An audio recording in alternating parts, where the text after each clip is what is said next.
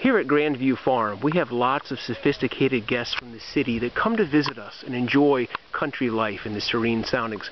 Whoa, whoa, wait a minute! What is that guy?